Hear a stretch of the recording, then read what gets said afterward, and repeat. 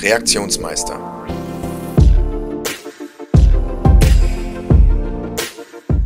In dieser Übung trainieren wir die Reaktion des Torhüters. Bauen Sie dazu zwei farblich unterschiedliche Hütchen im Abstand von 4 Metern vor der Torlinie auf.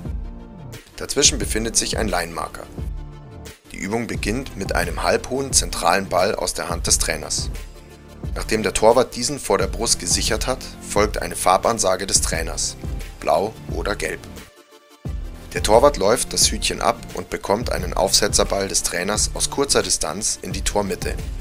Achten Sie als Trainer auf die Ausführung des Aufsetzerballs und auf die Bewegung des Keepers nach vorne.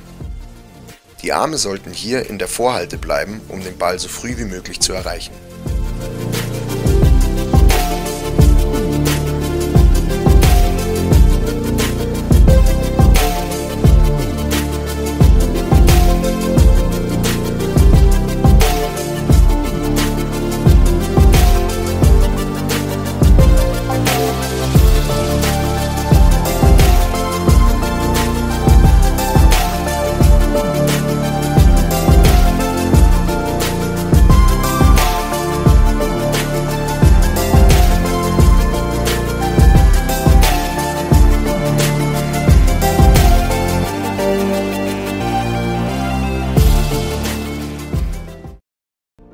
Variante: Der Torwart startet im Liegen und mit Rücken zum Trainer.